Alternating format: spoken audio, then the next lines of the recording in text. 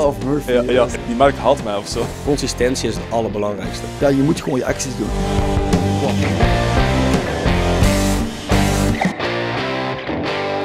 Welkom, Thomas, bij de Archer Podcast. Dank u wel, bedankt voor de uitnodiging. Uh, graag gedaan. Ik uh, kijk al een tijdje uit naar ons, uh, ons gesprek. We hebben een, uh, zal zijn, een enkele maanden geleden elkaar ontmoet.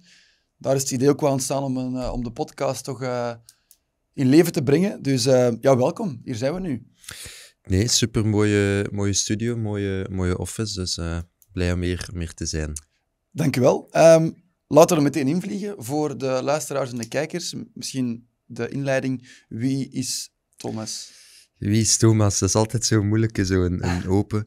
Ik ben Thomas Gunter, geboren in Gent, zoals je waarschijnlijk wel hoort. Ik woon in Antwerpen, ik woon hier niet zo ver van. Ik ben mhm. vandaag met de fiets naar hier gekomen. En in het dagelijkse leven ben ik multi-family officer of in, in gemakkelijkere termen familieadviseur. Dus ik sta een paar vermogende families bij als, uh, als onafhankelijk adviseur. Cool. En je hebt ook een, een boek geschreven, ligt hier ook op tafel. Inderdaad, dus er zijn een paar zaken die ik ook doe naast mijn job. Bijvoorbeeld, ik doe mijn best om af en toe wat tips en tricks op social media te delen, ook over financiën. Ik heb onlangs mijn eerste boek geschreven, ook over personal finance of financiën. Er zijn zo nog een paar zaken die ik doe in het dagelijkse leven, maar de rode draad is wel financiën. Ja, cool.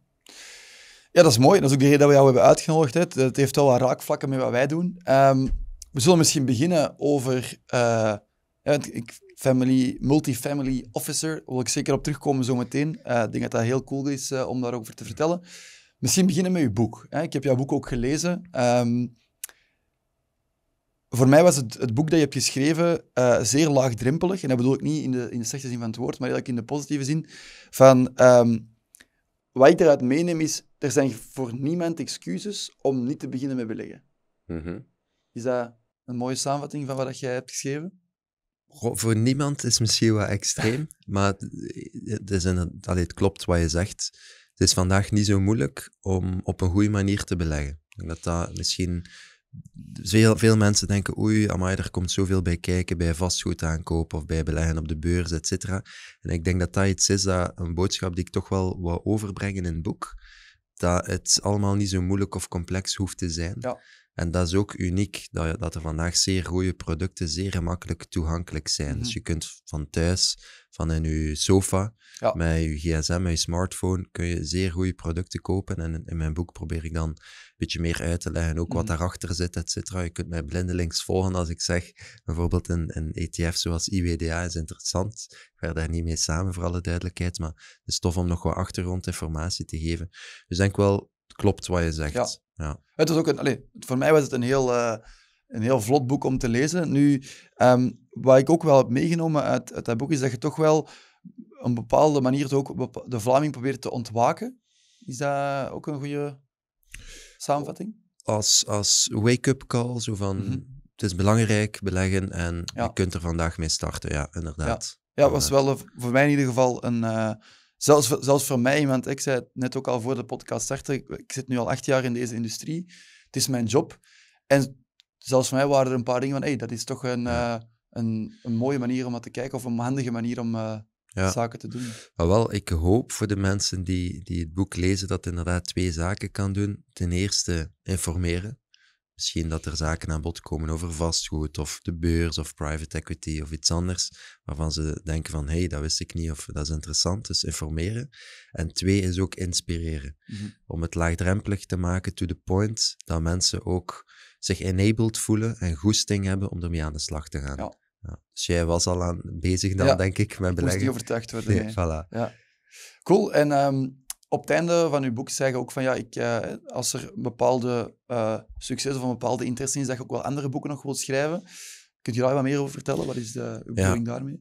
Dus in het boek komt er een vier à vijftal keer aan bod van kijk, als het boek een succes is, en ik heb voor mezelf succes gedefinieerd als 10.000 verkochte exemplaren, dan sta ik er zeker voor open om er nog te schrijven.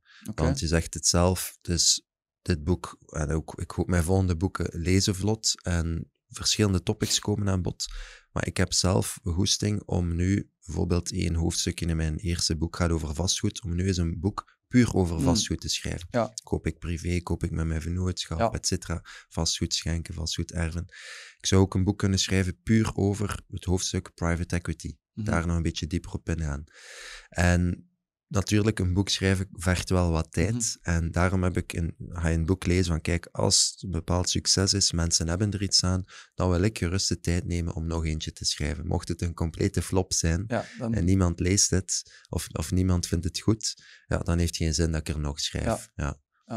Leuk. En ehm, dat is echt uit oprechte benieuwdheid. Hoe lang rekent je dan voor zo'n boek? Wat is, dat, wat, wat is de tijd dat je erin Ik steekt? denk dat het safe is voor mezelf dan, in mijn situatie, om bijvoorbeeld te mikken op elk jaar één boek. Dat wil niet zeggen dat je dan elke dag in, in, in een jaar eraan moet werken, maar dat je op bepaalde in bepaalde periodes waarin dat iets rustiger is, bijvoorbeeld, of Hmm. dat je in bepaalde periodes er tijd voor probeert vrij te maken in je Hmm. agenda, dan af en toe aan het schrijven gaat. Dus ik denk Ja. dat zo'n jaar wel goed is om van inhoudstabel naar dan een product in de winkel te gaan. Ja. Ja. Leuk. Ja, cool. Ehm, en het, eh, ik zou zeggen, blijven zeker doen. Want het is misschien wel de mooiste het, eh, of het beste compliment als iemand vanuit de achtergrond dat ik heb, of dat wij hier hebben, hè, niet per se altijd over mij gaan, maar gewoon vanuit de expertise dat we hier hebben, dan, ja, dan denk ik dat dat wel een meerwaarde kan zijn. Inderdaad, wat ik ook zegt, ik denk dat eh, dit was nu vrij algemeen ook, hè, voor particuliere zelfstandigen, en dat was zo wat daartussen, maar ik was aan het denken, toen ik dat aan het lezen was, van, bestaat er op de dag van vandaag een boek voor mensen met een zelfstandige onderneming? Nee, working daar- on it. Working on it. Ja, dat is, echt, dat is echt een gat in de markt. Ja, het is, het is... Bijvoorbeeld op, op vrijdag zet ik altijd mijn agenda open voor één op één gesprek en daar spreek ik heel veel ondernemers en daar komen ook vaak dezelfde vragen aan bod. Hoe kan ik ervoor zorgen dat ik minder belasting moet Ja. betalen? Doe ik bepaalde investeringen privé of met mijn zaak? Eh, andere zaken zoals kies ik voor een eenmanszaak of voor een besloten vennootschap? Ja. Hoe, hoe start ik exact als zelfstandige in bijberoep? Zo'n zaken. En ik heb de inhoudstabel al klaar voor. eh, dit is personal finance. Je Ja. zou dat dan kunnen omschrijven als business finance. Ik vind het niet zo'n supergoeie term. Ja, ik snap dat Dus, goed. maar dus, ehm, dat is zeker iets dat nog op mijn agenda staat. Als het boek het goed doet, dan heb, heb je dat boek van mij nog te goed. Perfect, ik eh, kijk er naar uit. Dat is sowieso eh, een meerwaarde. Ehm, ik heb een aantal dingen genoteerd waar ik aan dacht, daar eh, zijn wij gelijk in, of gelijk, hè, daar hebben wij dezelfde visie in. Ik heb ook een paar dingen genoteerd waar wij zeggen, hm, dat is interessant. Dus, Ja. eh, ik, ga er een paar dingen Cool. op gooien. Ehm, de gelijkenissen dat, dat Archer vanuit, vanuit ons als eh, organisatie en Thomas Gunter, de personal finance auteur, wij preachen allebei dat traditioneel beleggen quasi nooit werkt. Ik ben even En- aan het veralgemenen, hè, ja. maar En wat is- bedoel je met traditioneel beleg? stockpicking, Ja. de, de gemiddelde Vlaming die na zijn uren vanuit een bepaald tijdschrift of krant of van een bepaalde eh, fora ehm, iets probeert te maken van zijn beleggingen. ja, stop daarmee. Ja, ja. Ik zie heel veel kerkhofportefeuilles, waarbij dat mensen met mij in dialoog gaan. Ik doe bijvoorbeeld fondsenaudits, waarbij ik eens kijk van oké, welke fondsen heb je exact, wat doen die fondsen, wat zijn de kosten. En heel vaak zie ik ook van die kerkhofportefeuilles, dus niet met fondsen, maar inderdaad met individuele aandelen die mensen ooit eens gekocht hebben. En dat is crazy bijna, wat, wat ik daar soms zie. Ook wat je vaak ziet, is mensen halen, als je twintig aandelen nu zelf zou uitkiezen, sommigen gaan het goed doen, sommigen gaan het minder goed doen. En wat je ziet, is dat mensen al snel bij hun winnaars is, verlies, eh, is de winst nemen. En dat wat er overblijft, is dan echt een kerkhof van Ja. allemaal bedrijven die, die enorm in het rood staan en waarbij ze die mensen misschien vroeger al eens cut your losses hadden moeten doen. Mhm, Dus het is ook niet echt, het is niet altijd een representatieve Klopt. portefeuille die daar dan staat. Maar ik heb al heel veel van die kerkhofportefeuilles Mhm. gezien, waarbij dan mensen er goed aan zouden doen, gewoon clean sheets, Ja, verkoop die individuele aandelen en kijk dan naar, naar betere producten. Ja, dat is wel mooi dat je dat zegt, omdat wat wij, wat wij heel vaak zien eh, vanuit... Hè, wij, wij begeleiden momenteel 300 cliënten in het leren beleggen uiteindelijk. En dat is exact wat, dat- wat je zegt. Een, ehm, een los, hè, of een, een aandeel aan het verlies staat, of bij ons echt een, een los in, in, dan, in het... eh, we nemen dan een trade en dat, dat kan dan ofwel minstens 3% opbrengen, ofwel 1% verliezen. Mhm. Dat is een beetje het systeem dat we hebben, 1 op 3. en dat, dat is iets dat, dat voor mij ook heel lang heeft geduurd om dat echt te snappen en te leven. Is een los doet meer pijn dan een win goed doet. Ja. Dus de win, we maken 3% winst. Jee, dat is zo even een gelukshormoontje dat vrijkomt even. Maar die los, die doet veel meer pijn. Die doet veel meer met onze psyche. Ja. En dat is natuurlijk de hele reden waarom dat wij als mensen in de kern niet echt gebouwd zijn om om, om te gaan met dat, met dat variabele van winnen of verliezen.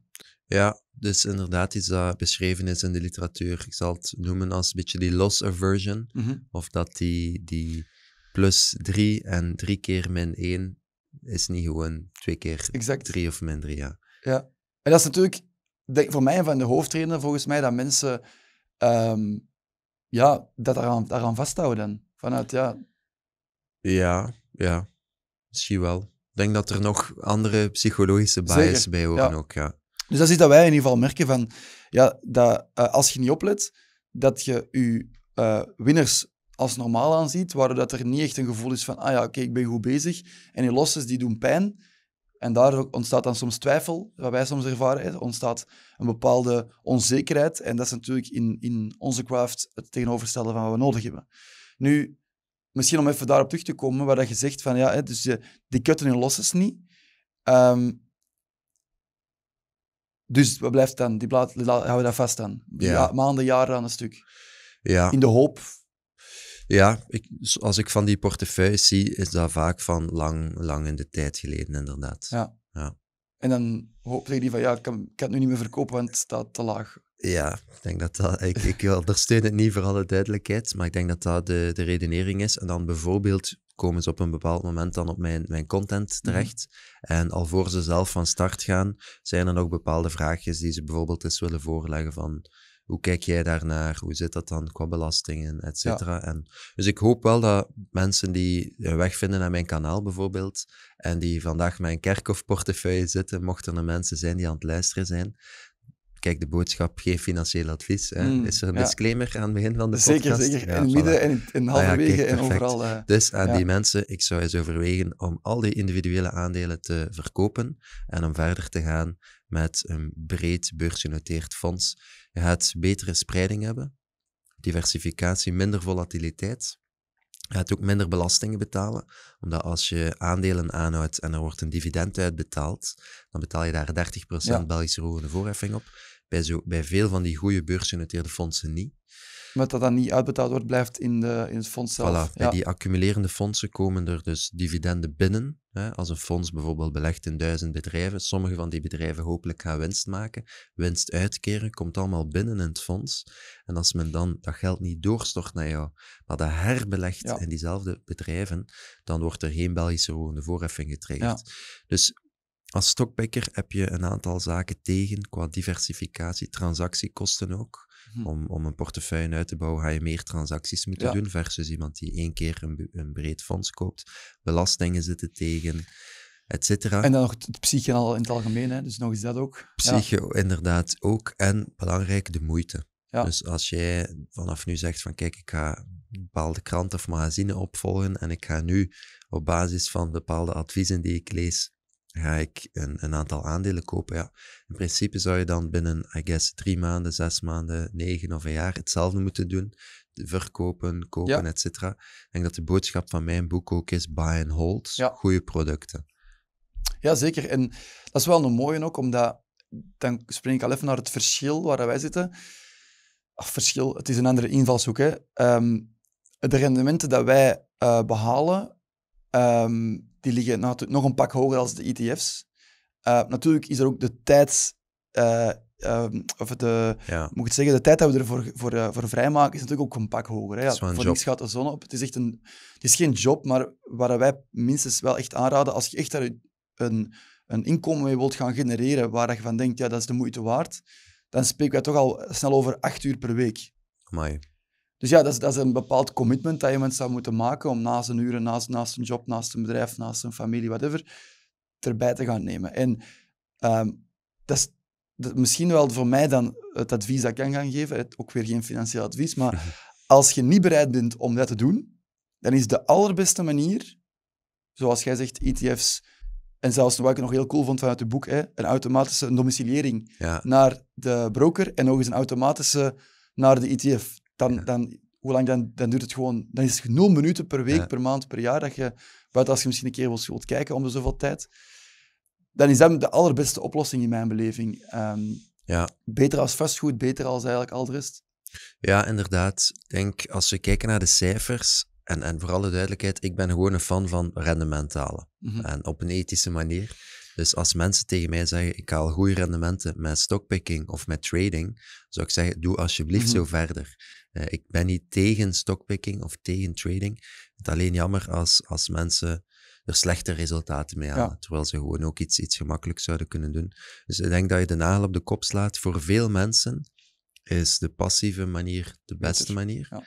Objectief. En, en denk, cijfers die je vaak ziet, is bijvoorbeeld 95% versus 5%. dus je hebt een uw boek. 5% van de mensen bij, bij stockpicking dan, die, die wel betere resultaten halen. Dus als jij bij die 5 zit, super. Ik denk dat bij trading ongeveer gelijkaardig is. Het zal niet veel Ja. verschillen, nee. Nee, Nee, nee. klopt. Dus kijk, als jullie bij die 5% zitten, jullie zien van onze leden halen mooie resultaten. Ik zou het eh, moeten bekijken. Mhm. Eh, maar dan zou ik zeggen, doe, doe zeker Ja. zo verder. Ja. Ja, en dat is ook wel een ding, omdat ik had... ehm, wij hebben eigenlijk in de afgelopen eh, jaren hebben wij altijd ook gepreacht van, kijk, transparantie is voor ons een belangrijke pijler. En dat is ook in, jouw boek naar voren gekomen. Hè, de, ik vond het een heel mooi woord, de journalistieke crisis, hè, dat we nu in bevinden. Daar komen we misschien zelfs nog wel op terug. Maar de reden waarom dat überhaupt ooit Archer Academy is begonnen, is omdat we toen het gevoel hadden van, ja, er is te weinig transparantie in de financiële educatiespace. Ehm, en denk dat dat ook voor u wel een, een reden is waarom dat je überhaupt bent begonnen met die free value te delen. Of is dat, is dat een andere reden? Ja, en met transparantie bedoel je dat er bepaalde belangen speelden die Ja, niet- belangenconflicten of, of het, eh, misschien het, het te mooi, eh, mooi maken, beloftes die niet, die niet realistisch zijn, zo dat, dat principe. Ja, goh, om, om eerlijk te zijn, bij mij was het geen reden om te starten met de filmpjes, maar het is wel iets dat gaandeweg meer op mijn radar gekomen is. Ja. Ja. Ja, dus dat is, een, dat, is, dat, is, dat is uw manier om eigenlijk daar een beetje tegen de stroom in te gaan op dat, op dat gebied. Bij ons was dat in de tijd van, kijk, wij hebben een, een strategie. Ehm, het is niet per se een stockpicking-strategie, maar echt een strategie hoe dat we naar de markt kijken op technische analyse, die voor ons werkt, die ook in de afgelopen jaren heeft gewerkt en die, waar we van verwachten, of zeker zijn zijn we nooit, maar dat we van verwachten dat dat gaat blijven werken. En daar hebben wij ook wel een standpunt in genomen, vanuit, kijk, Ehm, mensen die dat willen leren, want er is echt effectief wel vraag naar, naar ehm, ja, het leren beleggen op een ja, intensieve manier. Ehm, die mensen die zijn nu echt gewoon niet goed bezig. En die mensen die kopen van alles aan in de hoop dat ze dan de holy grail krijgen en die, die zijn soms slechter af dan inderdaad te kiezen voor iets passiever. Ja. En als ik kijk, want ik, heb we hebben hier even de rendementen opgeschreven. Wat wij niet doen, en dat is heel belangrijk in deze podcast, wij geven geen financieel advies.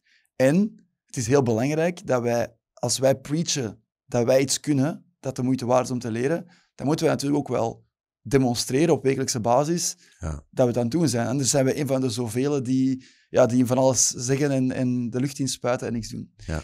En wat wij gedaan hebben, is eigenlijk op wekelijkse basis ehm, hebben wij bepaalde trades genomen en die hebben wij gelogd. Daar hebben wij een logsysteem van, dat is allemaal, hè, dat is allemaal transparant. Dat, dat we echt op, zondag, want de, de Forexmarkt is, hè, die sluit eh, vrijdagavond en die opent ma- zondagavond terug. Dus dat is Ah. vijf op zeven.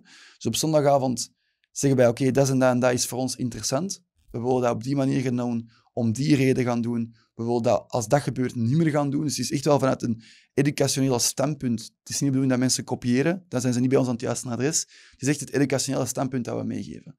En als ik kijk nu naar de rendementen, eh, in 2022, en ik durf het bijna niet zeggen, eh 180 procent. Oké. Eh, 2023 112 procent en year-to-date 2024 eh, 73 procent.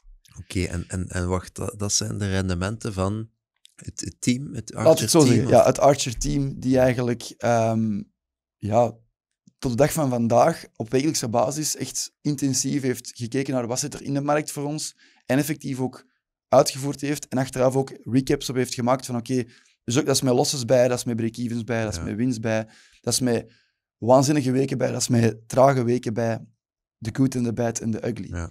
Ehm, Dan hoop ik dat jullie het met een, een groot bedrag als in, instap Eh, dat groeit uiteraard nog Ja. steeds. eh, en wat is ook weer groot, uiteraard. Ehm, uiteraard uiteraard is ook die 100, 180 of 100 of whatever het ook is. Dat is niet realistisch voor iemand die een jaar bezig is, of zelfs twee of drie jaar bezig is. Ik spreek hier over mensen die al zeven, acht jaar. dat dat hun job is, dat dat hun craft is, dat dat echt halve geeks zijn die daar eh, dagelijks uren mee bezig zijn. Maar het, het kan. Hè? En dat is wel ook een belangrijke. Ehm, ik denk dat bij jou, ehm, of dat is ook wat ik heb meegenomen met het boek, dat voor 99% van de mensen die hun job hebben en die gewoon hun geld willen laten werken voor zichzelf, dat, dat ETF's the way to go zijn. Mensen die zeggen, ja, mijn job, ik vind dat niet zo leuk, of ik wil meer, ik wil iets anders, ik wil vrijheid, of ik wil meer zekerheid, of ik wil iets anders doen in mijn leven, dan kan trader een optie zijn, maar dan is het weer die, dat commitment en alles dat erbij komt kijken. Het is een beetje natuurlijk het hele ding. Ja.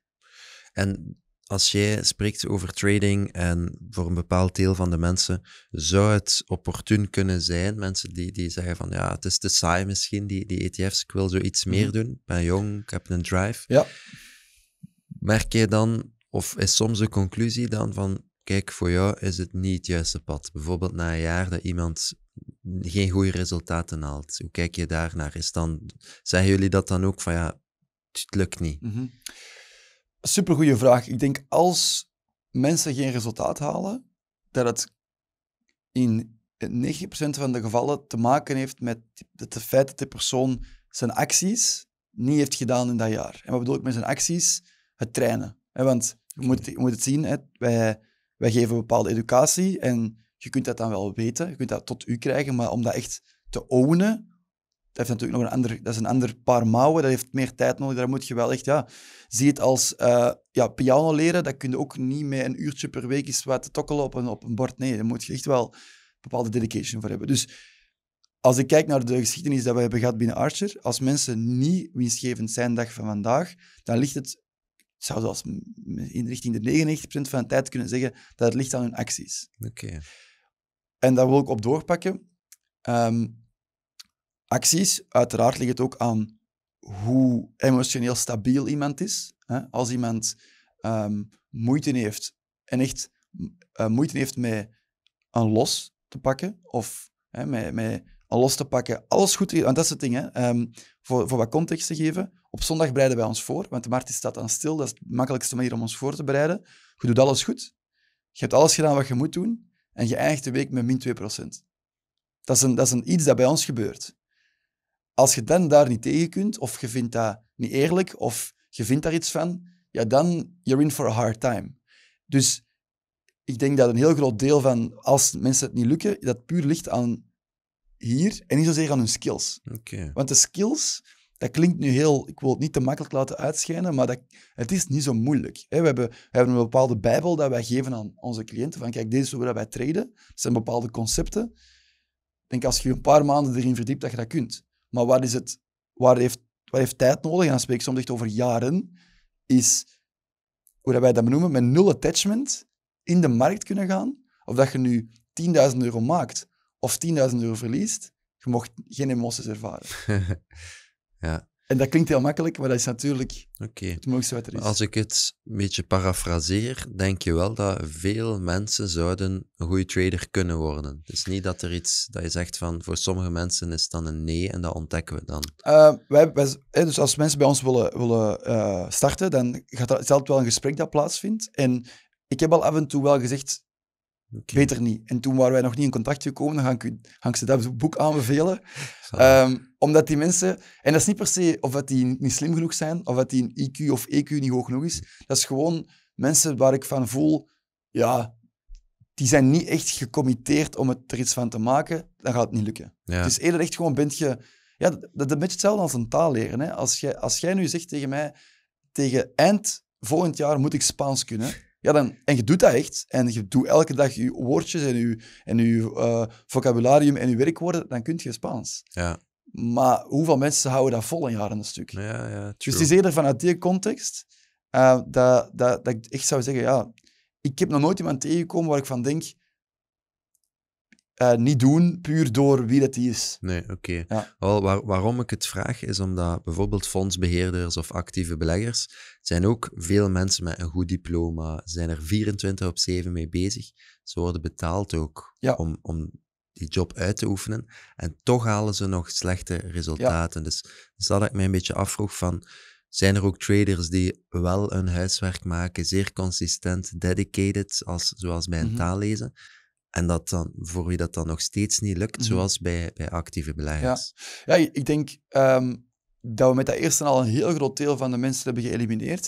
Ik denk als laatste misschien, en dan eh, vandaar dat wij ook, hè, want wat wij doen binnen Archer is, we leren mensen beleggen op technisch gebied, maar vooral, we, we coachen ook mensen. Want dat technische, ik zeg het, op een paar maanden, Oké. op, 90, allee, op, op details na, eh, heb je dat onder de knie. Maar dan komt het tweede aspect, het coaching-aspect. En natuurlijk iemand dat, ehm, laat ik het zo zeggen, en dat, bedoel, dat wil ik echt niet denigerend bedoelen, maar iemand dat nog nooit 10.000 euro heeft zien staan op zijn zichtrekening, als die dan begint te traden en die ziet daar bedragen komen en gaan, waar dat die maanden voor moet werken, ja, dan is het logisch dat hij daar emoties bij gaat ervaren. En dan moeten wij die wel gaan begeleiden en meenemen dat dat een part of the game is en dat is een bepaald proces dat die persoon moet doorgaan. Ja.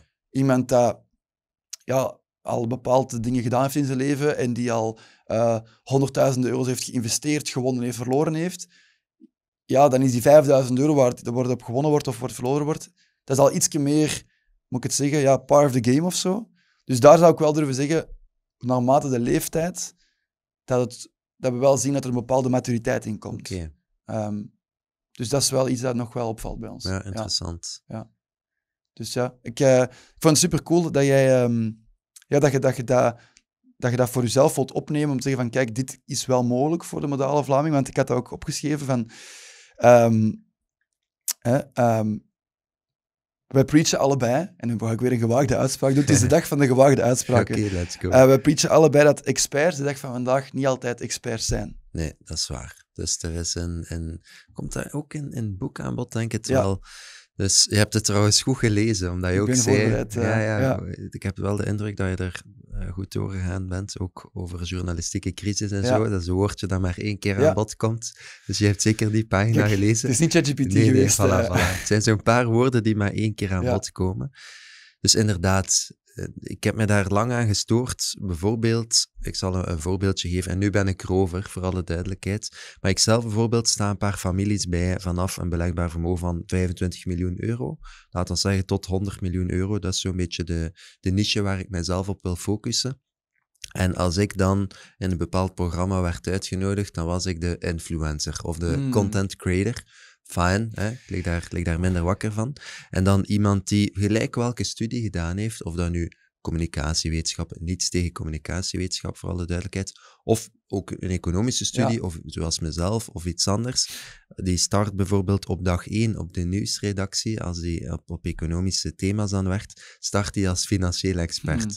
En ik zelf die dag in dag uit met fondsen bel, klanten bijsta over miljoenen euro's, ben dan de content creator. Ja. Dus dat toont zo'n beetje van ja, die dualiteit in die termen. Er zit geen consistentie Ja. meer in vandaag. Ja. En dat is iets wat mij lang gestoord heeft Mhm. als startende ja, auteur, et cetera. Nu ben ik erover. Ik Ja. heb het zo een plek kunnen geven van laat ze maar qua Ja. labeling doen eh, wat ze willen. Sommige mensen gaan mij voorstellen als personal finance expert, financieel expert, auteur, influencer, content creator, doe wat je wilt. Maar het toont wel aan dat er met, met, met die term expert Ja. zo'n beetje gegooid wordt, as you, as you please, zo'n beetje. À la ja, wat, wat goed uitkomt uiteraard. Ja, inderdaad. Dus dat is iets dat... denk er zijn zeer veel experten vandaag, bij titel dan, maar die, als je een beetje doorvraagt of kijkt of vragen stelt over ETF's of andere zaken, dat ze snel Ja. door de mand vallen, ja. Ja, en als je ook gewoon puur kijkt naar de historieke eh, rendementen dat die behalen, dan zou ik niet durven zeggen dat je een expert bent. Hè? Nee. Nu ja, dat is ook ergens wat dubbel, want iemand kan bijvoorbeeld zeer veel kennis hebben over de beurs. Bijvoorbeeld een professor die zich inleest over MIFID-regulering of bescherming consumenten of hoe zit dat met de beurstaks en andere zaken of historische rendementen. Ik zou die dan een expert durven noemen, Ja, financieel op dat, expert. op dat specifieke. Ja, ja. maar het zou kunnen dat hij gigantisch slechte resultaten haalt Mhm. op de beurs. voor mij is hij dan nog steeds expert, Ja. maar snap je punt wel. Ja, laat ik het zo zeggen. Als we echt puur gaan kijken naar mensen die zich expert noemen op, op het vlak van hè, rendement. Hè, ehm, dus een bepaald persoon dat vaak wordt uitgenodigd eh, op VTM als het gaat over eh, zo'n zaken, die gewoon historisch gezien vaak in de min eindigt op het einde van het jaar. Dan denk van, ah, dat is eh, een beetje, ja, ik kijk daardoor en ik hoop dat veel Vlamingen daar ook doorkijken. Ja, dus ik, ik weet over wie je het hebt en, en misschien twee zaken daarover. Dus ten eerste is het wel zo, want ik heb die persoon onlangs ook ontmoet en, en super sympathiek. En het is zo dat er ook wel soms met constraints wordt gewerkt. Bijvoorbeeld als u Investable Universe of als jij de opdracht krijgt om enkel in Belgische aandelen Ja. bijvoorbeeld te beleggen, dan is het moeilijk om, je wel meer, ja. om goede resultaten te halen. Ik zou dan ook slechte resultaten gehaald Mhm. hebben. Dus dat, dat is één. Maar daaraan gerelateerd, een tweede iets, het is dan misschien ook aan hun, personen die veel bereik hebben, om dan tegen de persoon die dat format verzint, van we gaan elk jaar bijvoorbeeld wat aandelen kiezen en dan gaan we kijken hoe hebben we het gedaan. Misschien is het dan aan jou ook to step up ja. en om te zeggen van waarom trekken we dat niet Exact. breder en waarom mogen we ook niet in de US, et cetera, Ja. beleggen. Dus het is zo'n beetje dubbel, maar het is wel waar dat er, ja, ik, ik volg u. Ja, en dat, dat is zo. En het is wel mooi gezegd, je hebt daar een plaats moeten geven. Als ik zo op. eh, ik kijk eigenlijk nooit naar HLN, want daar staan niet al, al te veel eh, dingen in dat ik interessant vind. Maar als ik dan soms iets dingen zie, dan denk ik van. Ah, dit, dit, dit past perfect in de narrative ook. Hè, van dat, dat als. Of wat, ik hier naar kijk is als de expert al rendementen maar behaalt die niet om naar, over naar huis te schrijven zijn. Ik geloof dat dat ook wel past in het feit dat de gemiddelde Vlaming ja, zich ook spiegelt van ja, dan is mijn rendement ook wel nog best oké. Ja, maar ik denk dat er bijvoorbeeld geen hidden agenda is, bijvoorbeeld, en ik denk, ook Mhm. niet dat jij dat nu impliceert, maar er is zeker geen hidden agenda om ervoor te zorgen dat de Belgische gewone man op de straat of, of vrouw op de straat, dat die slechte resultaten haalt. Dus Mhm. dat is zeker niet. Ik denk dat het eerder een beetje is van, oké, ehm, historie, op een, op een bepaalde ge- geschiedenis, er is een bepaalde geschiedenis, of op een historische manier zijn bepaalde personen op bepaalde posities gekomen met veel eh, reach, zal het Mhm. zo zeggen, veel reach. En die zitten daar nog en dan geleidelijk aan, ETF's zijn nieuw. Ik denk dat wij zijn jonge gasten, ik heb daar net team hier ook kort eens ontmoet, zeer veel jonge gasten. Dus bijvoorbeeld als het dan gaat over de beurs, wij zijn al mee Ja. met die ETF's. En wij Even al jaren. hoe oud zijn ETF's? Dat stond niet, dat was voor mij niet helemaal Nee, ik denk dat de, ah, wel, de, de eerste ETF's zijn van rond de jaren 1990, dus Oké. het bestaat al langer, maar ik denk dat de popularisatie is sinds kort maar. Dus dat, is, dat ze echt bekend zijn, ten Ja. eerste, en dat je ze ook gemakkelijk kunt Goed, kopen, en- ja. dat is nog niet zo... Allee, Ja. Dat is nog geen 30 jaar aan de hand. Ja. Ehm, dus ik denk dat het eerder een beetje geschiedkundig te verklaren is. En ik denk dat grote boates, of dat nu gaat over, over HLN, en ik vind trouwens ook dat sinds dat ik ook bijvoorbeeld eens aan bod ben gekomen dan, allee, dat is een mopje, gaat de kwaliteit omhoog. Eh, Ja. Nee, maar dus ik zie, ze hebben wel een paar goede namen. Dus bijvoorbeeld een Pascal Papen, ook Paul, Paul Doren, Stijn Ja. iemand rond successieplanning en Ja. zo. Dus ik denk, je mag ook niet te streng zijn voor. HLN. Ja, Eh, het komt echt wel goede content aan bod. En het is een kwestie van misschien die tanker een beetje te keren ook, richting meer de ETF's, et cetera. Producten die beter zijn op, op meerdere dimensies. Ja. Dat is mooi verwoord. Dat is een mooie, mooie kijk erop. En het klopt zeker wat je zegt. Ik denk, ehm, ik, ik hoop dat dat vandaar de, de positieve tendens is ingezet. Dat er meer en meer mensen daar wel ook eh, bij stilstaan. Hè? Want dat is ook wel iets ehm waar wij heel duidelijk hebben gezien. En ik ben ook benieuwd wat dat bij jou was. Ehm, misschien dat het net voor jouw tijd was. En nu precies, eh, precies al zo wat... eh, eh, f- ja, gepensioneerden die spreken over in het verleden. Maar toen dat wij net begonnen, was het in eh, was 2020, midden van corona. Toen waren we net begonnen. En dat is voor ons een bepaalde boost geweest, eh, durf ik wel te bekennen. Omdat op die moment zaten er heel veel mensen thuis. En sommige mensen technisch werkloos. Ondernemers die een goed draaiende boîte hebben, die ineens, oh, hè, eh, horeca-ondernemers die ineens hun lening niet meer kunnen betalen, moeten toegaan. Hè, eh, terrassen die maar voor zoveel procent mogen opengaan, binnen zoveel, zo weinig mensen maar. En wij hebben heel veel vraag gekregen, eigenlijk in die periode, om te leren beleggen. Want mensen begonnen op een gegeven moment door te hebben van oké, ik heb wel een goede job, eh, ik heb een, eh, een goede draaiende zaak, ik, ik zit safe, maar er kan één iets gebeuren, niet eens in mijn, niet eens in mijn, ehm, in, mijn dichte kring, gewoon op, wereld, wereldniveau, die ervoor kan zorgen dat, dat financieel ineens heel snel er anders kan uitzien op een, op een korte periode. Ik durf zelfs een stap verder gaan. Ik kom uit hè, de voetbalwereld, dat, dat weet je misschien. Ik heb acht jaar gevoetbald. Er waren bepaalde clubs in België die hun spelers op technisch werkloos hebben gezet. Voor een korte periode, een aantal maanden. Dat weten weinig eh, mensen nog, want dat is ook al even geleden uiteraard. Maar moet je voorstellen, als je gewoon bent om 8.000 of 9.000 euro netto per maand te verdienen en je levensstandaard is daarop gebaseerd, en je bent niet al te financieel onderlegd om hè, een goede buffer te voorzien, en je valt terug op 1800 euro per maand en je hebt een gezin te onderhouden, een vrouw en kinderen, ja, dat zorgt wel voor bepaalde drama's. Hè. Dus eh, dat hebben wij allemaal van dichtbij wel eens gezien. En ik heb daar wel gemerkt dat er een bepaalde awakening of zo is gebeurd bij, bij een ander deel van de mensen. Van, ik heb een goede job, ik wil dat blijven doen. En ik moet echt wel zorgen dat ik on the side iets ga doen. Zij het op passieve manier, op een iets actievere manier, whatever. Maar ik heb wel het gevoel dat daar een bepaalde bewustwording is gekomen. Is dat iets dat jij ook hebt ervaren? Ja, het leeft. Finance leeft. Ik, bijvoorbeeld als ik zelf gestart ben met filmpjes, die filmpjes waren niet goed. De, ik kan dat misschien ook kort eens, eens toelichten. Ik ben begonnen in 2021 met een blog. Ja. En op aanraden van een vriend heb ik dan de overstap gemaakt naar filmpjes. Ik had nul ervaring met filmpjes maken. Ik had zelf geen Instagram, TikTok, et cetera. Dus ik heb die apps gedownload en bepaalde boodschappen dan ingesproken. Tips en tricks over belastingen, de beurs, et cetera. En ver- tegen mijn verwachting in is dat snel, is mijn reach enorm gegroeid. Terwijl mijn filmpjes, zoals ik zei, zelf niet zo goed waren. Gewoon oortjes, iets inspreken, brakke editing, online zetten. Dus dat toont, als zelfs die filmpjes, mijn eerste filmpjes Mhm. bekeken werden, dat toont aan dat er gewoon een enorme, dat er veel mensen op zoektocht Ja. zijn. Dus ik ben het daar volledig mee eens. En ook een, een tweede iets, hij haalt een, een tof concept aan. In mijn boek omschrijf ik het als van 100% toewijding naar 100% toewijding plus gaan. Waarbij zeer veel mensen van 9 tot 5 of van 9 tot 9 of whatever, smijten ze zich voor hun eigen zaak of als werknemer voor hun Ja. baas. Maar zet daar dat plusje bij. Ga naar 100% toewijding plus. Daarmee bedoel ik, neem ook eens een stap terug. Neem desnoods een dagje verlof als je, als je batterij echt leeg is, Mhm. s'avonds, omdat je keihard moet werken. Neem eens een dagje verlof en optimaliseer niet alleen je zaak of, of bedrijf van, van waar je voor werkt, maar ook je eigen leven. Ja. Ik denk dat veel mensen dat te weinig doen. Gewoon omdat ze in zo die dagelijkse flow zitten. Je routine. Maar ik heb al mensen ontmoet die bijvoorbeeld keihard werken voor bijvoorbeeld 3000 euro netto per maand. En terzelfde tijd staat er bijvoorbeeld 200.000 euro op hun spaarrekening niets te doen. Hm.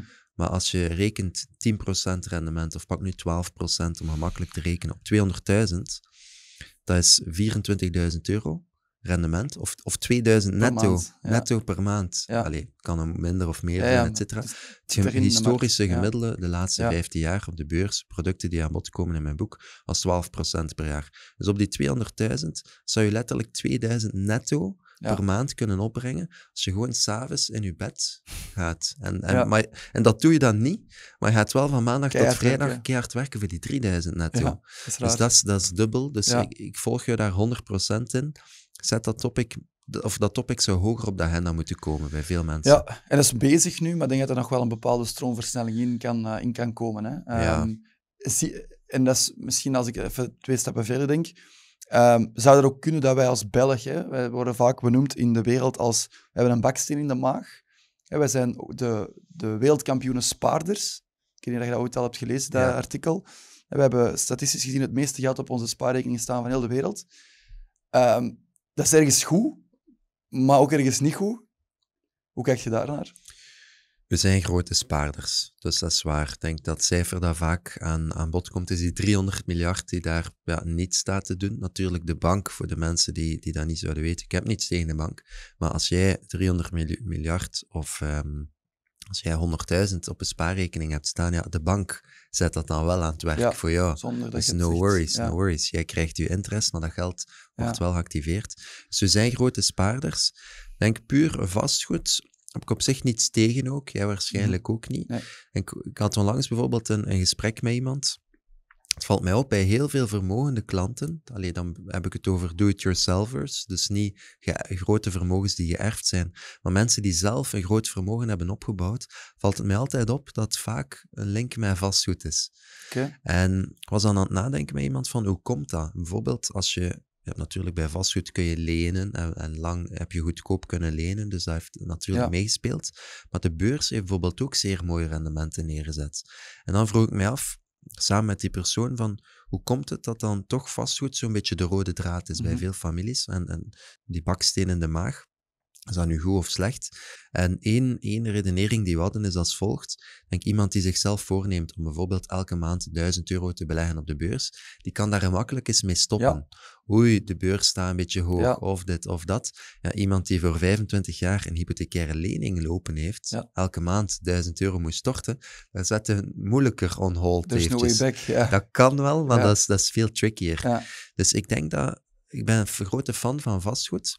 Misschien niet vanuit rendementsperspectief, dus wel vanuit diversificatieperspectief. Ja. Naast de beurs, andere type beleggingen. Maar het heeft een zeer groot zelfdisciplinerend effect. Ja. Ja. En die, die discipline, die moeten we zelf gaan creëren als we ETF's zouden doen, bijvoorbeeld. Voilà, maar je hebt het daarnet ook al gezegd, er zijn brokers, er zijn er niet zoveel, waar je wel ook een automatische belegging, een automatisch beleggingsplan kunt opstarten. Ja. Ja. Maar dan nog heb je wel de kans om ja, te zeggen, oh, het is even deze maand wat krapper, of eh, kom, er staat al genoeg geld op, het hoeft niet meer. Ja, En voilà. bij- ja, als je Voilà. het nog 100.000 moet afbetalen, dan is er no way back. Je moet Nee. het afbetalen. Nee.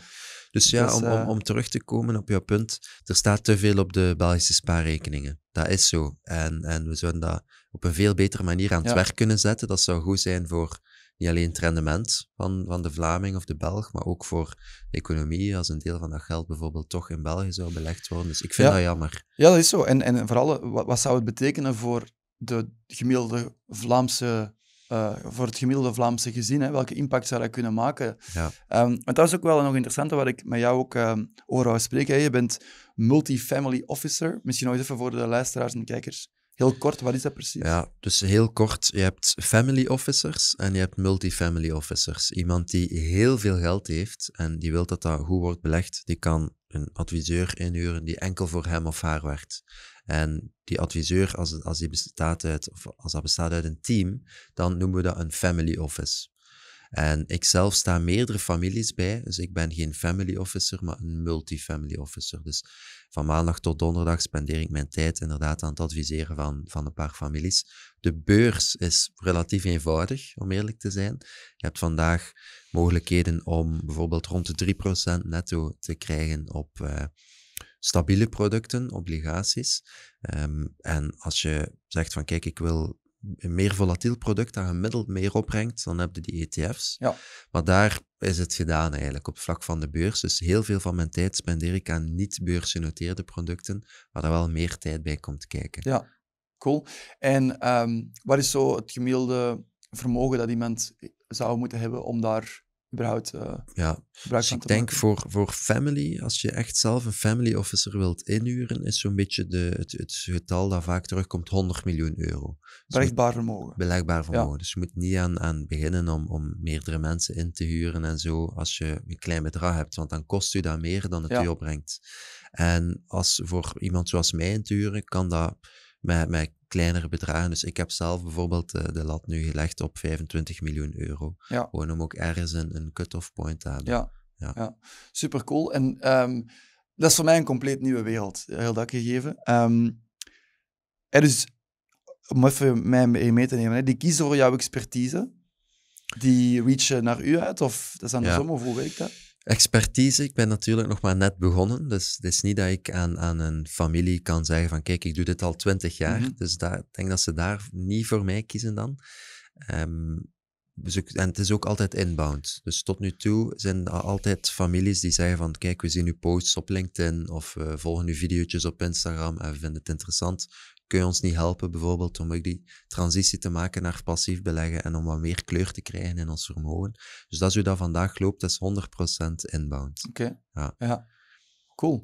Ehm, dus dat zijn toch ook mensen die op sociale media dan eh, u, u Ja, posts zien al wel, sommige mensen verschieten daarvan, maar ook mensen met, met gigantisch grote vermogens zitten ook op, op LinkedIn of op, Ja. op TikTok en bekijken ook wel filmpjes. Dus Ja. het is niet dat die mensen eh ubermensen Nee, zijn of zo, aliens, die, eh. die, die geen social media hebben. Nee, die zitten daar ook op. En als jij, als, als er iemand zou kijken of luisteren die een product heeft dat voor een bepaald deeltje maar relevant is, wat bij mij het geval is. Ik bereik veel mensen op social media, maar niet iedereen kan een potentiële klant worden Nee. van mijn, mijn family business. Nee. Maar als je veel mensen bereikt, weet dat, het is een beetje de, de wet van de grote getallen, als jij bijvoorbeeld super dure zwembaden of zo zou verkopen, dan gaan er altijd mensen bij zitten die, die geïnteresseerd gaan Ja. zijn in je product. Ja. Tuurlijk, ja. Nee, dat is wel, is wel, eh, wel cool inderdaad, dat, die, dat hij dan toch zo... ehm, dat hij zo bij jou terechtkomen. Ik zou denken dat dat op een andere manier zou gaan, maar ja, het kan, het kan soms niet simpeler zijn dan, eh, dan dat. Nee, ik denk dat er. Tot nu toe is het puur inbound. Je hebt ook wel al wat, wat mensen bijvoorbeeld die zeiden van via via hoor ik goede dingen. Ja. Eh, dus ik denk dat dat, naarmate ik langer mijn activiteit als, als multifamily officer doe, denk ik dat er meer Ja, het via via gaat van die komen mensen ook. uiteraard. ja. Nu, misschien een andere vraag. Die deden ervoor iets anders, die, eh, die mensen. Hè? Die hadden dan andere mensen daarvoor in dienst? Of... Meestal, dus bij de klanten die ik adviseer, en het zijn, een, zijn er vijf à zestal families. Dus het is niet dat ik, dat ik een uitspraak kan doen op basis van honderd Nee. zeer vermogende de klanten. Maar puur voor mijn klanten is, hebben zij nu niemand in dienst of geen adviseur die hen bijstaat. Alleen voor ze met mij in zee gingen dan. En wordt alles puur uitbesteed, bijvoorbeeld bij vermogensbeheerders of bij de bank. Ah, ja, oké. En dan stoppen zij het daarmee. Daar die- eindigt het dan. Ja. Ja. ja. Dus de banken zien je niet altijd graag komen, of de vermogensbeheerders. Goh, dat is dubbel. Dat is dubbel. Dus ik, als ik aan boord word gehaald, dan doe ik, mij, doe ik wel mijn best om bijvoorbeeld ook te helpen om me af te dingen op kosten of om ja, wat meer kritische vragen te stellen, ik Ja. zal het zo zeggen. En vaak wordt er ook wel op basis van analyses die ik doe, wordt er dan iets geherallokeerd. Maar het is niet zo dat al mijn klanten alles weghalen Nee, bij de bank nee. of zo, zeker niet. Nee. Dus er zijn veel vermogensbeheerders en banken die ook allee, contact met mij opnemen om te zeggen van Thomas, ehm, we weten dat jij voor klanten overzichten maakt van alle private equity oplossingen bij Belgische banken, dat jij een overzicht maakt van alle Hmm. actieve fondsen Ja. bij banken, dat jij een overzicht maakt van termijnrekeningrentes, van andere producten.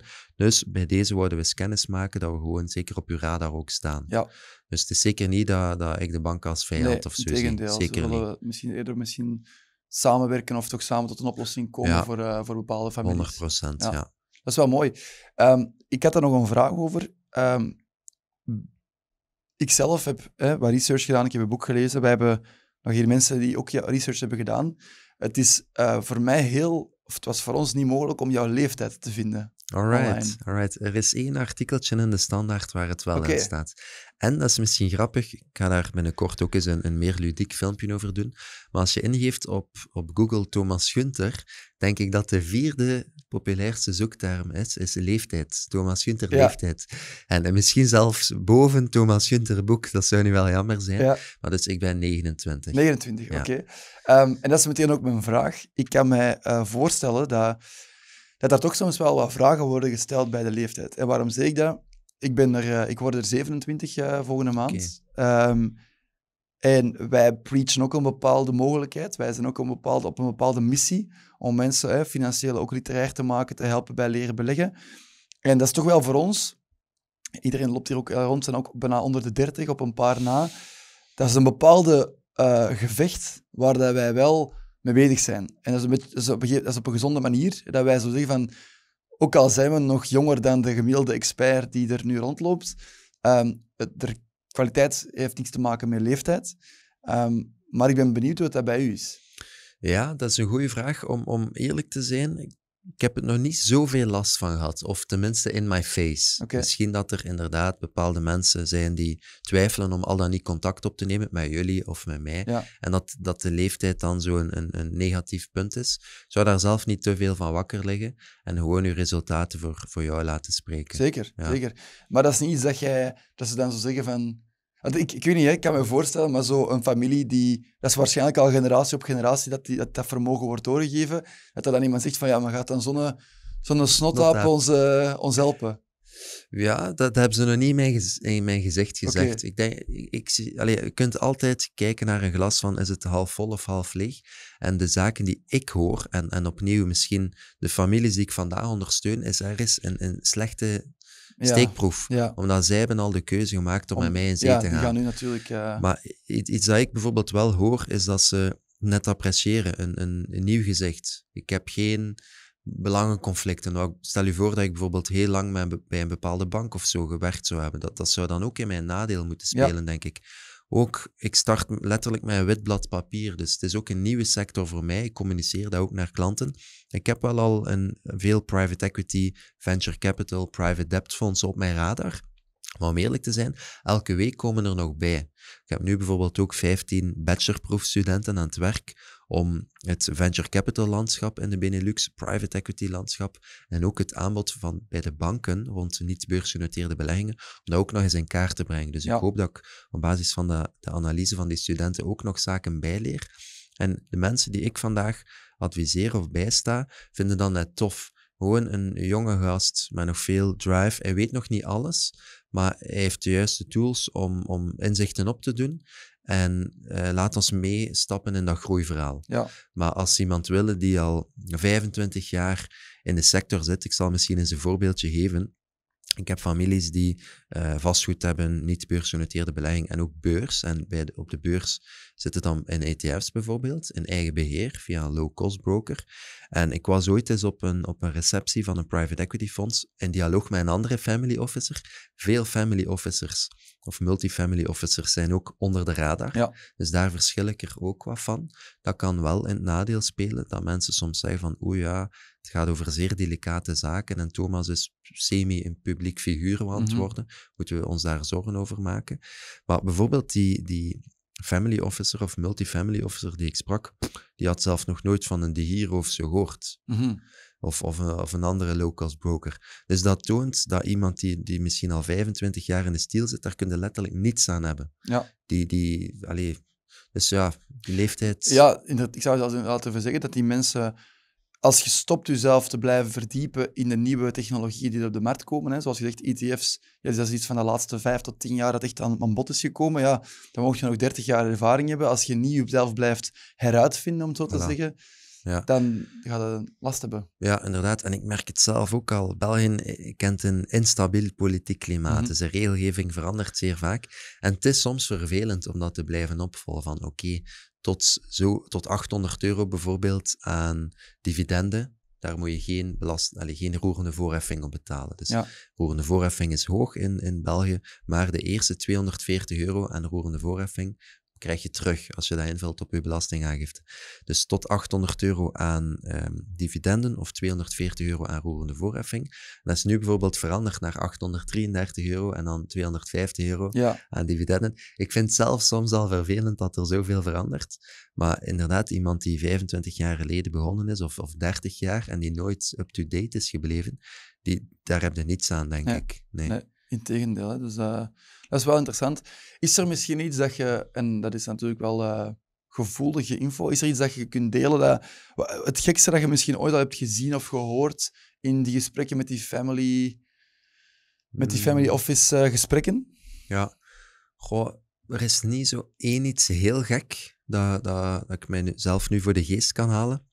Maar denk wat ik wel altijd gek vind, is hoeveel rendement dat, er, dat ze laten liggen. En hoe weinig kleur dat er in het vermogen zit. En ook hoe be- beslissingen worden genomen soms. Dus ik geef een voorbeeldje.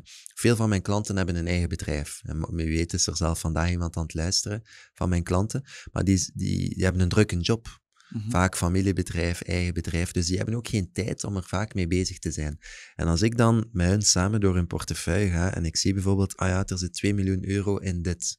Dan vraag ik van, hoe ben je tot die beslissing gekomen? Ah ja, die kregen een telefoon of ze, ze hebben hier een pitch gedaan en dat leek ons wel interessant. Dus dat is letterlijk Ja. de diepte van de analyse die gebeurt. En als ik bijvoorbeeld aan boord word gehaald, dan gaan we echt naar een checklist ook voor mocht, want veel van die rijke mensen worden ook heel vaak gecontacteerd door, Beïnvloed, eh, ja. door ja, verkopers. Dat is nu niet slecht of, of positief, maar door verkopers die een fonds willen pitchen of een ander product.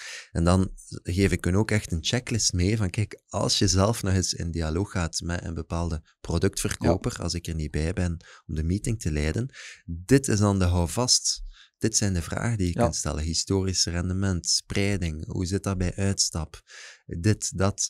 Dus dat is, dat is een, misschien één iets dat, waar ik soms van verschiet, Ja. hoe, hoe rudimentair dat veel analyses zijn, maar in hun defense, door, omwille van tijdsgebrek, Ja. dan wordt zeer weinig gespreid ook. Hm. Dus ehm, vaak zaken zoals private equity, venture capital mag gerust wat geboost worden in een mix.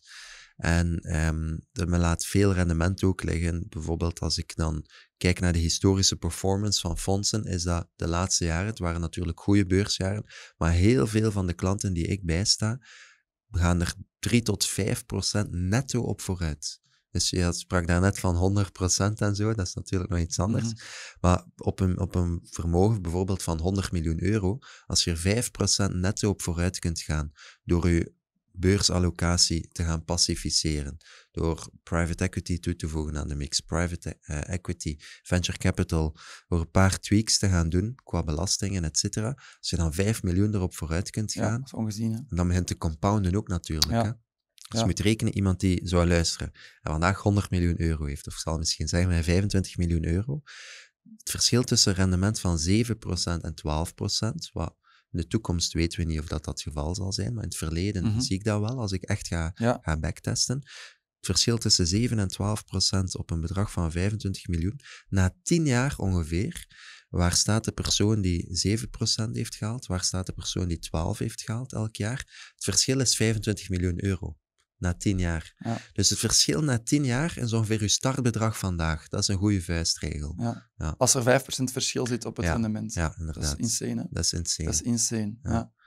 Ja, dat, is, dat, ik- dat kun je niet voor mogelijk houden. Dat mensen Nee. daar. eh, Nee. En dan, wat dan vooral heel erg is, dat die dan zo hard werken om hun familiebedrijf hè, te laten draaien, gaande te houden. Ja. En zoals gezegd, met de, en dat is dan op kleinere schaal bij de modale Vlaming hetzelfde. Hè, keihard werken in hun job en niet nadenken over wat kan ik gaan doen om eh, bepaalde rust te gaan creëren. Nee, en, en om eerlijk te zijn, als, als families mij betalen, is het ook gewoon om dat hoger op de agenda te zetten. Exact wat jij beschrijft, als ze weten van oké, we hebben elk kwartaal bijvoorbeeld een call met Thomas, dan zetten we dat topic gewoon op de agenda. Dan zijn er nog nieuwe fondsen die op onze radar zijn Ja. gekomen. Zijn er zaken die we nog kunnen doen? Zijn er nieuwe dividenden binnengekomen uit de familiebedrijf, et cetera? En als je niet iemand zoals mij in dienst zou hebben, of dat een jonge of een oud persoon Ja. is, dat maakt minder uit. Het belangrijkste is vaak dat ook gewoon op de agenda wordt Ja. gezet. En dat één uurtje dat ik dan met mijn klanten heb, bijvoorbeeld, dat gaat per uur dan veel meer opleveren dan in dag uit een zaak bijvoorbeeld Ja, gaan opvolgen. Zeker. Ja. Zeker. Ja, en vooral ook ehm, niet alleen, niet alleen in, de, in de plus dat we gaan kijken, maar ook als het een keer wat tegen zit en de markt, hè, eh, er is een, een eh, tweede coronacrisis of een eh, financiële crisis en je zit dan niet goed verspreid, hè, er is niet veel kleur in je portefeuille, dan heb je niet alleen minder rendement gehad in de, in positieve jaren, maar gaat ook waarschijnlijk nog grotere klappers tegen hebben in de negatieve jaren. Ja, Dus het, het, is, het mes slaat langs twee kanten. dat- Ja. op dat moment. Ja, super interessant. super cool. Ehm, ik, voor mij was dat het belangrijkste. Ik, eh, ik vond het een super eh, waardevol gesprek. Ik denk als mensen ehm, hieruit luisteren, of hieruit uit kunnen meenemen door goed te luisteren, eh, dat ze beter af zijn voor die, na dit uur dan voor dit uur. ja, en dat is, dat is wel de, de bedoeling geweest. van dat is zeker de gesprek. bedoeling. Misschien nog een vraagje Ja, ook van, shoot. van mijn kant aan jullie. Los van de inhoud. Dus we hadden het al over trading, stockpicking, et cetera. Gaan mensen zijn die luisteren, die zeggen van, ik ben daar tegen, ik ben daarvoor. Maar waar ik wel respect voor heb, is ook jullie ondernemingsverhaal. Voor, allee, hoeveel- met hoeveel FTE's zijn jullie al? Eh, nu 24. Maar wel, dus Ja. een team van, van 24 man, dus zou misschien jou om advies willen vragen. Oké. Ik ben zelf vandaag op mijn eentje. Je zou kunnen zeggen dat ik een freelancer ben. Ja. En ik zit zelf nu een beetje stuk in de middel tussen... En dit mag ook on-air, hè. Ik weet niet of het zal gestopt zijn met, met recorden. niet. Kijk even, Maar nee, ik kijk, zit ze zelf een beetje stuk in de middel tussen op mijn eentje zijn Mm. en een eerste recrutering doen. Mhm. Dus mocht je daarom, jullie gaan waarschijnlijk ooit in diezelfde situatie gezeten hebben. In het begin Ja. deden jullie alles zelf en dan op een bepaald moment is de bal aan het rollen gegaan. Mhm. Iemand zei mij ook al eens, ja, die eerste werknemer, dan, dan is, is schaap over de fence. Of hoe, Ja, hoe dat die persoon het zei, weet ik niet. Maar dan Hmm, komt er vaak meer en meer. Dus ik weet niet hoe jij kijkt naar... Hoe, hoe hebben jullie die beslissing genomen of die, die durf gehad Mhm. om, om die groei in te zetten? En, en daaraan gekoppeld is, is allee, zou ik ook nog iets willen delen. Stel je voor dat ik nu een goed jaar heb. Dan zou ik kunnen zeggen, oké, ik ga een appartementje kopen met mijn vennootschap bijvoorbeeld. En ik blijf voor de rest van mijn leven blijf ik op mijn eentje. En dan eh, brengt ook minder verplichtingen met zich mee. Dat Mhm. geeft ergens een grote vrijheid. Ja. Stel je voor, je hebt een goed jaar of je hebt even geen goesting meer. En laat dat weten aan wat klanten, van ik ben even wat minder bereikbaar. Ja, Eh, ik blijf mijn job doen. Dus het geeft zeer veel flexibiliteit. En ik zou voor de rest van mijn leven, heb ik het gevoel, alleen kunnen blijven. En bijvoorbeeld als de zaak goed gaat, uitkeren, zeker. goed beleggen. Of bijvoorbeeld investeren in wat vastgoed. Ja. Of ik zou een zot kunnen zijn, bij wijze van spreken, en zeggen van kijk, we gaan dat niet investeren in, iets dat, in een asset, of, in een ander type asset. Nee, we gaan een eerste recrutering doen. We gaan proberen om hier een zot groot bedrijf op, Ja. op te bouwen. Dus denk, ik vraag mij soms af van, er is daar geen juist of fout. De ene is goed, de andere route is goed. Jullie zitten dan meer op die tweede route. Mhm. En hoe hebben jullie die route kunnen aanvatten? Dat is zo'n beetje de, wat ik op tafel wil. Ja, ik denk ehm, het belangrijkste, denk ik, is wat is een missie? Voor ons was de missie heel duidelijk. Hè. Wij, hadden, wij wouden echt een, een verandering betekenen in de financiële educatiewereld. En als je echt, hè, wij, wij, wij roepen dat wel vaak, en dat is eh, niet, ook niet om echt arrogant te zijn, maar wij willen echt het Harvard worden van de financiële wereld. Ja, het Harvard worden van de financiële wereld, dat gaan we niet met twee doen. Spijtig genoeg. Dat zou eh, iets makkelijker zijn, het zou inder- iets minder eh, kosten en het zou ook iets minder verantwoordelijkheden, want dat zegt je ook goed, hè. Ehm, ja, een, een, bepaalde mensen op de payroll hebben staan, bepaalde mensen in je team hebben, dat brengt bepaalde verantwoordelijkheden, verantwoordelijkheden met zich mee. Ehm, het leven was echt wel pak makkelijker toen, dat kan ik wel zeggen. Maar de reward en ook de impact wordt groter. Dus het is eerder van ja, ehm, voor mensen die zeggen: Ik ben fijn met hoe dat nu gaat en ik, ik ben blij met wat ik nu verdien en de impact dat ik maak en wat ik beteken voor mijn klanten, hè, ehm, dan zou ik vooral zeggen: Blijf dat doen. Als er iets is van ja, ik, ben, ik, wil meer en niet meer in meer euro's, maar ik wil meer, in, ik wil meer impact maken, ik wil eh, meer betekenen, ik wil me- meer reach hebben. Ja, dan is er op een gegeven moment niet, geen andere mogelijkheid, want we hebben maar 24 uur op een dag Ja. eh, dat, die, dat die stap genomen wordt. Nu, om terug te keren naar uw vraag. ehm, wij hebben als eerste een heel all-around figuur ook, of een heel all- all-around type aangenomen. Dat was echt een business developer. Hem aan het luisteren is nu. Ehm, dat was een business developer die super all-around was. Die wist wel wat van marketing, die wist wel wat van boekhouden, die wist wel wat van, van sales, die wist wel wat van operations, events opzetten. Die was eigenlijk, het was echt een, en het zou echt een denigerend zijn als ik hem, als ik hem PA zou noemen. Het was gewoon iemand echt die bij ons heel, heel veel overnam van mij en van Armani, dat is mijn medevernoot. Ja. Eh, en die begon dat op zichzelf uit te bouwen. En dat was zo'n derde, een derde anker waar dat wij mee, mee aan de slag konden gaan. Ehm, dus ik zou zeggen, ja, dat is natuurlijk heel persoonlijk, maar als je echt eh, wilt groeien, dan is dat nodig. Maar dat is natuurlijk wel een sprong in het type. Want ja, dat is... Ja. Was dat via via? Of dat jullie Dat was wel een kennis. persoon? Dat is een kennis, Dus ja. En dat is eigenlijk wel grappig. Eh, we zijn met 24. Van de 24 zijn er, ik denk, een goede 18 uit het netwerk. Oké, uit iemands amai, netwerk. maar pff, is dat goed? Of dat, Eh, dat brengt, eh, dat is speciaal, laat ik het zo Ja. zeggen. Ehm, natuurlijk, wij zijn, eh, ik heb een cheatcode in, mijn, of in ons bedrijf. En dat is dat wij, wij coachen mensen, wij coachen onze cliënten, maar wij coachen ook onze medewerkers, ons, ons team. Ja. Dus wij hebben bijvoorbeeld om de twee weken, ehm, op vrijdag van 8 uur s ochtends tot 10 uur s ochtends, doe ik een, wij noemen dat een interne training. Dat is eigenlijk een training waar, ik, waar we echt in gesprek gaan met enkel ons, ons team, waar wij hen ook gaan opleiden, eh, ook een deel in het eh, beleggen, omdat zij moeten ook snappen wat dat uiteraard is, Ja. maar vooral ook in wat er hier eh, omgaat. En, dus ik, dat is een beetje een cheatcode Oké. dat wij hebben, ehm, waar wij ook zeer veel tijd en energie in steken, uiteraard.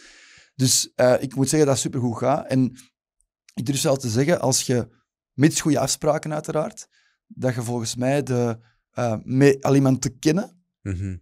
heel veel snelheid kunt maken. ja. Goede afspraken zijn wel key. Want als het, het mag geen vriendschap zijn op het werk. Het moet echt mooi gescheiden blijven en het moet clean zijn. En je moet beiden ook echt de commitment hebben om dat gescheiden te houden. Dan is dat voor mij zelfs echt een win. Ja. Ja. Ja, het zijn interessante zaken die je aanhaalt. Ik was ook al aan het denken, mijn allereerste vacature, en het zal waarschijnlijk ook via via lopen, maar dat gaat een, een verzameling zijn van zoveel zaken. Welke Ja. term plak je daarop? Je kunt COO doen, maar voor twee personen is dat, wat overkill. En dan PA is ergens, ergens dekt het de lading niet. Ja. Wat voor mij is, is business developer. Business Want je developt echt je beginnende business. En business development is super breed. Dat is echt van eh, super banale zaken, eh, mails beantwoorden, tot aan echt marketingstrategie, tot aan... Dat is echt, het breder kan voor mij niet. Eh, dus wij vonden dat in onze beleving de Business beste term. eh. Denk, bij mij is er een zeer groot administratief luik ook wel Ja. aan. Bijvoorbeeld, elke week ga ik twee of drie keer spreken bij bedrijven, bij organisaties. Dat zijn altijd mails op een bepaald Ja. moment die binnenkomen. Hallo Thomas, we volgen u. Eh, zou je eens bij ons willen komen spreken? Ik wil dan afstemmen over locatie, prijs, et cetera. Dus dat zou ik perfect bij iemand kunnen leggen. Bijvoorbeeld ook samenwerkingen op social media bijvoorbeeld, komt er soms een vraag binnen. Ik ben daar zelfs zeer selectief in, dus Ja. kan dat nu zelf wel opvolgen. Maar dat zijn zo allemaal meer administratieve zaken, Mhm. misschien bepaalde e-mails. Business development, ja, misschien ga Ja. er nog eens over nadenken. Ja.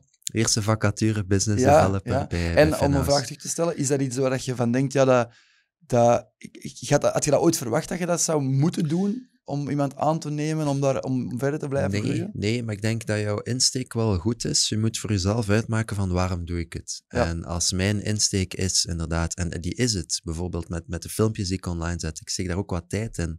En, en dat is echt gewoon om impact te hebben, om, om een positieve bijdrage te kunnen leveren aan de financiële educatie in Vlaanderen. Het is ook mijn ambitie om, om mensen echt vooruit te helpen met hun financiën. Dus als ik op die manier die vraag beantwoord van waarom doe je het, misschien is de lat dan voor mezelf ook verlaagd van, ah ja, dan is het logisch dat je nu ook volgende stappen neemt en mensen aanneemt, et cetera. Maar het is, het is, ik ben misschien niet van nature de beste ondernemer, Mm. denk ik. Ja. Ja, dan- zeker als je in een situatie zit waar dat je vooral iets wou geven en op een gegeven moment komt er een heel bedrijf bij kijken. Dat is, is echt wel grappig. Hij zegt, wij hebben Archer Academy is begonnen vanuit een Instagram-pagina Oké. en nothing more, nothing less. We Ja. hadden geen website, we hadden geen product, we hadden geen waardepropositie, we hadden niks. En op een gegeven moment kregen we heel veel DM's, vergelijkbaar met jou. Ja. Eh, mensen die vroegen van, ja, kunt je ons dat leren? En herinner mij nog goed, ehm, Armani en ik, wij waren uitgenodigd voor een soort van presentatie te geven in Ierland. Dat was onze allereerste presentatie ooit. Op een of andere reden was daar toch was er heel veel vraag naar. En we hadden daar iemand die dat een event wou opzetten. En ehm, we kwamen eraan. En we hebben in de vlieger onze presentatie liggen maken, want zo voorbereid waren we toen. Eh, we waren toen denk ik 18, ja, misschien 19 of zo, 20. Ehm, en we kwamen daar en we hadden een presentatie dat we hadden gegeven van denk ik twee, drie uur. Eh, en mensen waren laaiend enthousiast na die, na die presentatie. Die waren net niet ellebogenwerk aan het doen om Amai. eerst te vragen hoe dat we kunnen starten. En wij moesten zeggen, je hebben kunt niet starten. We hebben niks. Ja, En ja, vandaar dat is dat eigenlijk gegroeid. Ja. Dus ik geloof wel dat dat ook de, misschien wel de gezondste manier is om... ja. Ergens doet mij denken aan slow growth. Dat is ook zo'n concept. En bij mij is 100% analoog. Ik had mezelf enkel voorgenomen om 100 filmpjes over Ja. financiën online te zetten. En na, na video 10 of, of weet ik veel, kreeg ik dan een berichtje van iemand die zei van hey Thomas, interessant. Kan ik, u eens, kan ik eens een uurtje van uw tijd om, om eens uw perspectief te krijgen over iets? Zei ik, oké, why not? En dan heb ik dat toegevoegd op mijn profiel van, kijk, je kunt een één-op-één Ja. gesprek met mij boeken. Dan, na een tijdje, zag ik dat er zeer veel mensen dezelfde vragen altijd Mhm. stelden. Natuurlijk kon ik daar proberen inspelen op... eh, kon ik daar proberen op inspelen in filmpjes. Maar dan heb ik bijvoorbeeld ook een, een online cursusje online gezet. ook La-. Zeer laagdrempelig Ja, eh, lage prijs, bewust. En als er mensen zijn die gewoon de basics willen over die ETF's, geen goesting hebben om, om het boek te lezen, want dit is prijs-kwaliteit natuurlijk de, de beste investering, ja. kon ik vanaf dan zeggen van kijk, ik heb ook een, een, Ja. een cursusje dat online staat. Op een, dus dat is echt follow your customer. Ja. Zelf had ik nooit een, een doel op voorhand van, ah ja, ik ga dat productizen op die en die manier. En dan op een bepaald moment kreeg ik een allereerste berichtje op LinkedIn van een zeer vermogende familie. Die zei van, Thomas, eh, ik heb zelf geen tijd om ermee bezig te zijn, maar ik zou eigenlijk wel moeten. Eh, kunnen we ook eens samen zitten om u misschien als adviseur aan boord te halen? Ja. En om eerlijk te zijn, paar maanden geleden wist ik niet wat een family office was. of een multifamily office. En nu heb ik één opgezet. Ja. Dus zo snel kan het Zo gaan snel, als je Ja. gewoon je, je klant volgt. En dat is misschien ook nog interessant om mee te geven. We mogen niet te veel reclame maken Mhm. vandaag natuurlijk. Maar ik denk de volgende logische stap voor mij, als ik opnieuw follow your customer doe, gaat mijn eigen fonds zijn. Ja. Dus ik weet niet of dat bij jullie ook op de, op de Dat radar staat. Ja. Ja. Dus veel mensen zeggen mij van, ja, Thomas, ik heb misschien niet superveel geld om u voor uw tijd dan ook te betalen, om u zeer eh, intens aan boord te halen. Of ik heb niet superveel geld om echt meerdere allocaties te doen in private equity. Maar kan ik niet gewoon mijn geld naar u storten? Ik krijg soms die vraag, kun jij het niet doen voor mij? Ja, vandaag is het antwoord nee. Ik Mhm. kan analyses doen, informatie aanbrengen. Ik ben geen financieel adviseur zelf, in de technische betekenis van het woord. Ik heb geen eigen product ook. Dus ik denk dat dat misschien de volgende Ja. logische stap gaat zijn in het follow your customer verhaal. Ja. Ik vermoed dat jullie ook wel op een bepaald pad zitten. Als klanten dan iets vragen, dat jullie daar dan in meegaan. Ja. Zeker. Super eh, interessant. En ik eh, denk dat eh, voor veel mensen ja, ook een ideale oplossing is. Want zelfs hoe. het, het verbaast me hoe dat. ehm, dat is misschien omdat wij vanuit die financiële interesse zitten. Maar ja, veel makkelijker dan, dan ETF's zal het niet worden, denk ik. En nog steeds ziet je mensen die toch zeggen van nee. Eh, ik wil toch het echt uitbesteden aan iemand waar ik vertrouwen in heb. Nu, om eerlijk te zijn, als het gaat over de beurs, dan ga ik echt wel. Is mijn bedoeling dat mensen dat zelf in handen nemen. Ja. Dus op basis van de juiste info, hoe zit dat nu alweer? Marktorder, limitorder, welke broker, welk product, wanneer? Ik, ik denk dat met de juiste begeleiding dat mensen dat zelf op hun kunnen nemen. Mijn fonds zou, zou dan ook niet beleggen in ETF's. Mijn fonds zou zich focussen op die niet-beursgenoteerde fondsen. Ja. Dat is een beetje het tragische aan mijn job. Ik kom zeer veel interessante niet-beursgenoteerde beleggingsfondsen tegen. En vaak is een minimale inleg zeer hoog. Ja. Dus bereken 250.000 euro tot een paar miljoen euro. Ja. En klanten van mij kunnen op basis van een analyse dan de beslissing nemen van kijk, ik allokeer daar 1 miljoen euro in. Bijvoorbeeld als minimum 1 miljoen is. Ik zelf kan alleen maar erbij zitten en er naar kijken, want ik Ja. heb niet 1 miljoen om dan in dat fonds ook te investeren. Ja. Zelf mocht ik bijvoorbeeld net 1 miljoen hebben, stel één voor, keer, ja. Je dat ook niet allemaal Nee, in dus eentje de steken. snoepwinkel, je mocht binnen, maar je mocht geen snoep Voilà, ik mag, ik mag vragen beantwoorden over de snoepjes en berekeningen doen, Ja. maar ik kan zelf niet, niet Ja. proeven van de snoepjes. En dat is een probleem waar ik niet alleen zelf mee zit natuurlijk. Dus ik kom, eh, gaandeweg heb ik zo aan, ben ik, en dat is work in progress zoals ik zei, zijn bachelorproefstudenten op aan het werk, ik ben er zelf veel mee bezig. Ook bij klanten zie ik vaak, wat hebben ze? Ja, Dus dat brengt, allee, dat is ook wel tof om te weten. Dus ik kom zeer veel goede dingen tegen. En ik denk dat de volgende logische stap voor mij zal zijn om zelf een fonds op te zetten, een fund of fund, dat dan bijvoorbeeld investeert in tien van die fondsen.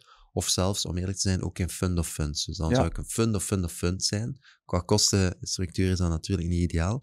Maar ik zou dan met een laag toegangsticketje, zou ik ervoor kunnen zorgen dat mensen die 200, 300, 400.000 euro hebben, bijvoorbeeld 100.000 euro in dat fonds zou de max zijn. Omdat ten eerste, anders heb geen toegang gewoon tot die producten. Komt ook veel werk bij kijken. Hè? Dus ik heb klanten die bijvoorbeeld in 10 niet beursgenoteerde fondsen zitten. Veel luisteraars gaan dat niet weten. Maar dat werkt anders dan op de beurs. Je kunt niet zeggen tegen, een tegen zo'n fonds, ik zal 1 miljoen bij jullie investeren en dan de volgende dag dat storten. Dat gaat niet. Dat duurt vier of vijf jaar alvorens dat geld volledig opgevraagd wordt. Mm. Dus ik heb gisteren bijvoorbeeld zo'n capital call ontvangen van een fonds waar ik wel ben in kunnen instappen. Een kapitaalopvraging is een mailtje. Vandaag, eh, Anthony, kun je nu 10% van uw bedrag overmaken binnen de twee weken. Dus ik heb gisteren bijvoorbeeld zo'n mailtje gehad. Maar je kunt u inbeelden, als je in 10 van die fondsen zit, en elk fonds doet bijvoorbeeld drie mails per jaar, dan heb je 30 mails om op te Ja, volgen en stortingen te doen. Dus dat begint wel een beetje een hassle te worden. Ik, ik schrik daar zelf niet van weg. Ehm, maar dat is- probleem zou dus ook opgelost worden. omdat Ja. Ik zou dat allemaal, Kunnen zou allemaal managen. binnenkomen en dan Ja. zou ik aan de klanten zeggen van kijk, twee keer per jaar bijvoorbeeld eh, ook zo'n kapitaalopvraging doen. Dus het is een kwestie van toegang, als ik toch de, de pitch mag doen. Een kwestie van toegang, een kwestie van administratieve vereenvoudiging en dan ook van diversificatie. Dus stel je voor dat je een goede connectie hebt met een bepaald private equity fonds of een fund of fund. En ze zeggen van, kijk, het is goed, met 200.000 euro mag je investeren. Ja, dan heb je maar eentje. Ja. Dus via mijn oplossing zouden we wel direct 10 of 15 dingen hebben. Ja. Dus ik, dat zou een heel tof product kunnen zijn, maar je zei het zelf al, zeer veel regulering, et cetera. Mm. Dus dat is een beetje een werk van lange adem. Ik ga zien of ik dat op een kostenefficiënte manier kan realiseren. Er staat een, een enquête online waarbij dat mensen ook kunnen laten weten van kijk, interessant concept. Als je het doet, wil ik meedoen. Dus dat zal misschien mijn volgende, Ja, volgende cool. stap zijn. Zou dat effectief in België zijn, dat je dat eh, vestigt? Ja, dat zal waarschijnlijk via een Belgische Structuur. eh, structuur zijn. cool. Ja. Dus ik weet niet of jullie, als jullie die mooie rendementen halen, die 100%, 150% en zo, als dat consistent is, ik ben minder thuis in die forex- en tradingwereld, maar als jullie dat kunnen voorleggen, kan ik mij inbeelden dat zeer kapitaalkrachtige mensen ook zullen zeggen van, oké, doe dat alsjeblieft Ja. verder, maar met meer geld. Die vraag hebben we al heel vaak gekregen. Hebben we ook elke keer tot nu toe eh, van gezegd van kijk, dat, dat kunnen we niet doen, dat willen we ook niet doen. Ook weer die missie, hè. dus het is niet onze missie om... eh, het is natuurlijk heel leuk en heel cool om het te doen, maar onze missie ligt echt wel in, mensen het eh, zelf leren. Maar ik denk dat we, dat, we, dat we niet anders kunnen, dat wij op een gegeven moment ook wel die richting gaan uitgaan. Ja, Ehm, dus misschien dat daar ook nog wel eens in zit. In, ja in interessant. richting. interessant. Ja, dan zie ik het wel passeren. voilà. En als, als ik dan mijn analyse doe van het fonds en de, de track record blijkt te, klop, te kloppen en zo, stel je voor dat er ooit eens een klant dan zegt van kijk, ga eens een eh, allocatie doen. Kan. Kan zeker. Ik denk dat, dat, eh, denk dat daar zeker iets in zit. Ja. Ja. Toen Eh, mij een beetje denken aan een, aan een Web3-fonds dat ik onlangs ook tegenkwam, dat zo wat exotischer is. Ehm, maar kijk, eh, super aangenaam gesprek. Ja, superleuk. Ik heb eh, er veel van opgestoken. Ik hoop, eh, of ik denk de, de kijkers en de luisteraars ook. Bedankt om tot hier te komen. Het was niet ver, maar Nee, het was leuk. Ik, ik vond het super en we spreken elkaar zeer snel. super, merci. Graag gedaan, tot de volgende keer.